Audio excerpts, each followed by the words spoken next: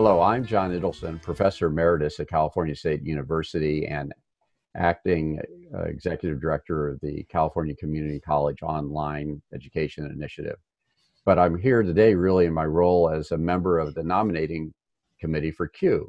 And we have a chance to talk with the nominees for the CUE board. So let's start right away. Uh, so, Ray, can you tell us your name, your title, and uh, first, we'd like to know what was your first CUE experience? Sure. Um, again, my name is Raymond Chavez. I'm currently the Director of Instructional Technology Outreach at the Los Angeles County Office of Education. It, it was my pleasure to get introduced to CUE way back in 1986. Actually, I went to my few, first CUE conference in the fall of 1986, and, and I tell you, it was just eye opening uh, to be able to collaborate and see all the different uh, examples of how people were integrating technology at that time and, and mostly computers. But it was also just a great experience because at that time, CUE conferences were held at a high school. I went to Independence High School and I just got a great a great opportunity to network with a great bunch of educators who were interested in and really excited about integrated technology. From there, I actually, uh, the next year, I presented uh, my second year. Um, and I have to tell you, kind of date myself here, I presented on an Apple II uh, computer, and I, and the title of my presentation is "What Makes Database database is such a hit. So that gives you an idea of the kinds of things we were talking about um, back then, was 25 years or so ago. And uh, it's always been exciting and, and, a great pleasure to be uh, a part of CUE. It's interesting. I remember my first CUE conference in high schools too. We, we, have come a long way. All right. Um, you you tell us a little bit about yourself, but can you tell us a little bit more, and in particular, why do you want to serve on the CUE board of directors? Well, you know, I've been a teacher in the classroom, and actually, uh, my first experience with technology was um, actually they dropped one of the Apple IIe's into my uh, classroom and, and said, you know, well, here's a computer for you. Go ahead and do something with it. And I thought, okay, what should I do with it? But actually, it led uh, to a great interest and an opportunity to um, explore the use of computers in, in classroom instruction, and also later to a, a job as a grant grant um, teacher uh, for a grant at that time, which was seeking to integrate computer technology and video technology into classroom instruction.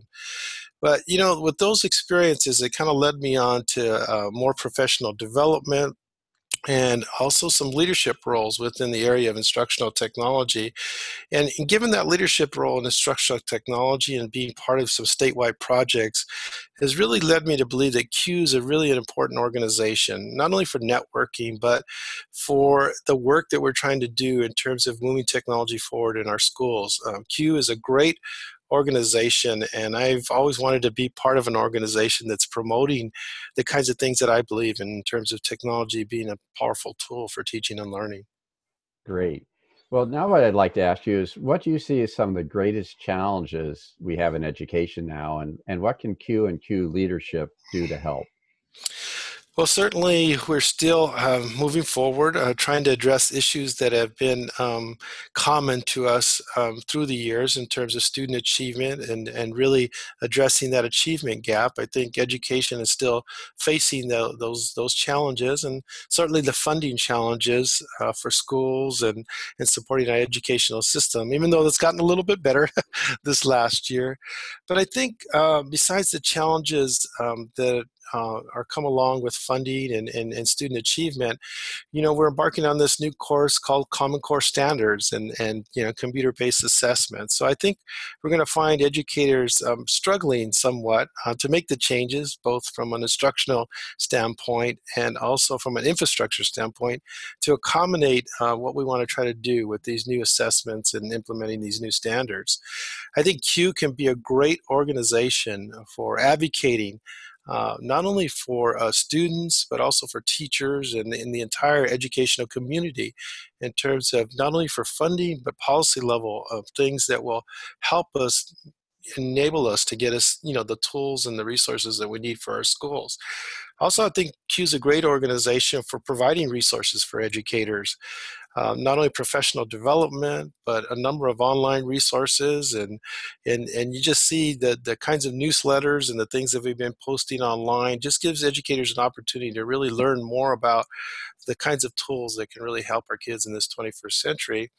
And I think CUE can be a great organization for, for facilitating a conversation at the leadership level. Sacramento, I think we've been an organization that has really uh, brought to the forefront some of the um, possibilities with technology and how it can help our, our K 12 and our higher ed um, um, environments in terms of a powerful tool for teaching and learning. So I think it could be advocating, I think it could be providing resources, I think it could be facilitating discussions at the leadership level, and really be an important organization for moving California forward uh, in this 21st century.